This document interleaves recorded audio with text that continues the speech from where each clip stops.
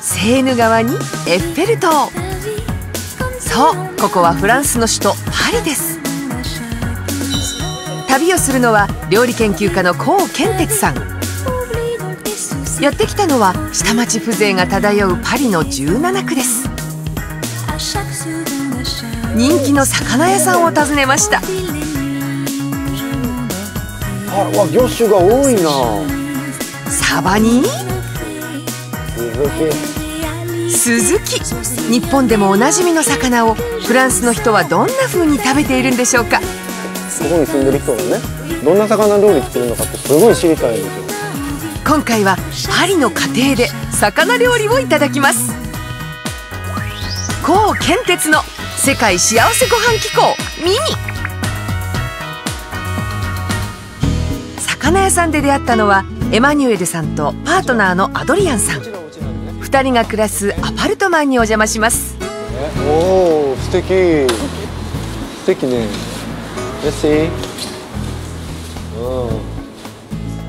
築100年のアパルトマン。4階までは階段を使います。お邪魔します。おおおお素敵ってすぐはキッチン。包丁がいっぱいあるよ。2人は2年ほど前からここで生活しています。ちょっとなんかこれちょっとかなり本格的なミシンですね。私が仕事に使っています。すごいね。ここはエマニュエルさんの仕事場でもあるんです。おおなるほど。はあこれコルセットねエマニュエルさんはコルセットのデザイナー。コルセット専門のコンクールで優勝したこともあるんです。アドリアさんは何をされてるんですか？料理人です。料理人なの。道理で僕さっきちょっとキッチン通った時にね包丁がすごくあったからおやっと思ったんですよね。アドリアンさんは5年前からシェフとしてレストランで働いています平日エマニュエルさんは朝から晩までミシンと向き合いコルセット作り。国内外からネットで注文が入るんだそうです。普段の日の夕食は作業の合間に一人でチーズとサラダでパッと済ませます。自分の店を持つという夢を叶えるため節約の日々です。そんな2人の休日のランチはサバ料理。なんだか不思議な食材がありますよ。アドリアンさん今この何を作ってくれてるんですか？お。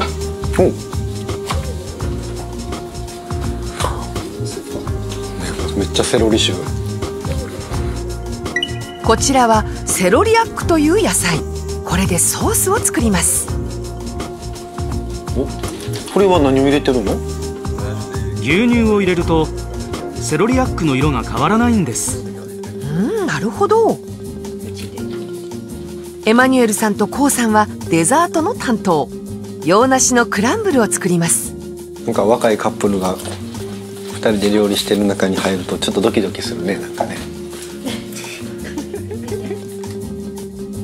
薄力粉に冷えたバターを加えたら今度は粉と混ぜながら指で細かく砕きます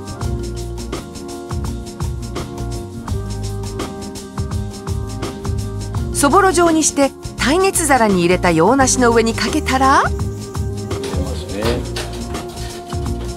あとは150度のオーブンで20分ほど焼くだけ。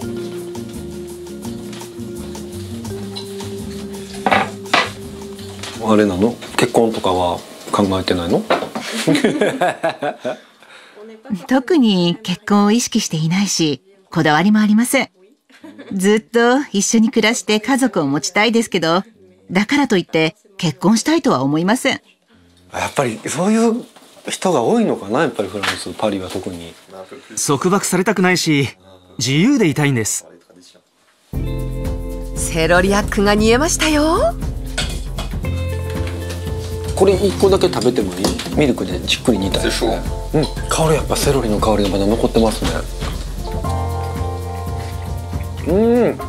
味はやっぱりセロリに近いんですけどそこまであのきつくないですね。まろやかマイルド。うん。ミルクとの相性すごくいいね。だいぶ濃厚なクリームだね。滑らかになるまで混ぜます。そこにレモン入りの溶かしバターを加えます。分離しないように少しずつ入れるのがコツです。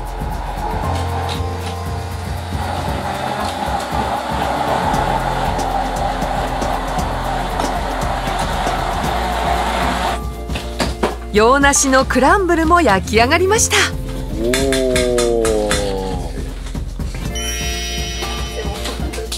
えー、こんがり美味しそう。うん。香り最高。綺麗に焼けたね。いや楽しみだなこれも。次はいよいよサバの調理です。アドリアンさんにとって休日のランチ作りはオリジナルレシピを作るための大切な時間でもあります。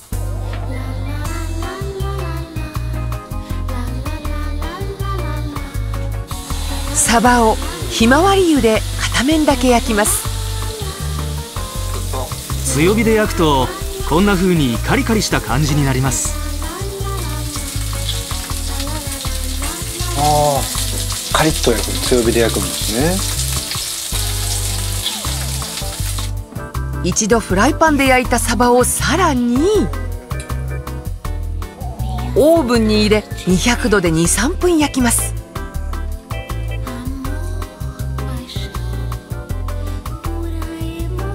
の間にセロリアックのソースをお皿へ。さあいよいよ盛り付けね。サバがふっくらと焼き上がりました。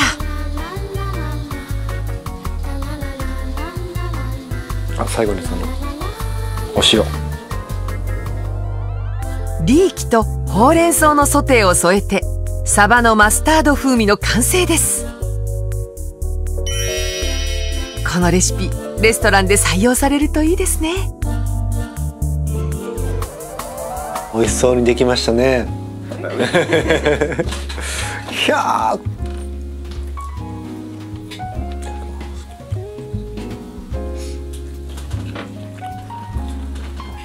うん。うん。これうまっ。うんマスタードがガツンとくるよりはむしろちょっと優しい味に逆になるね。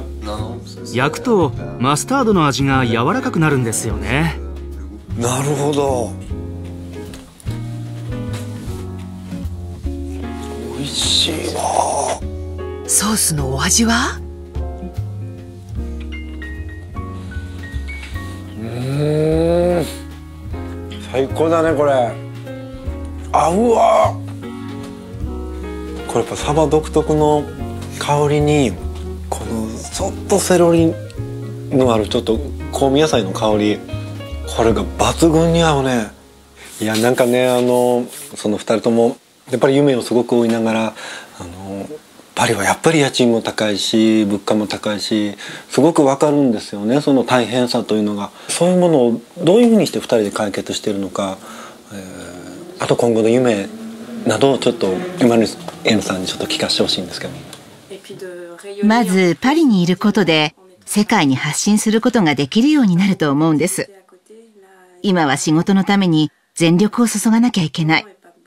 もちろん自分だけの時間も作らなきゃいけないんですが、そんな時間もないし、パリにいればお金もかかるし、レジャーなんかとても無理。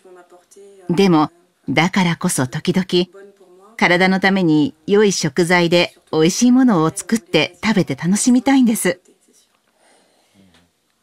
そのために彼がいてくれる。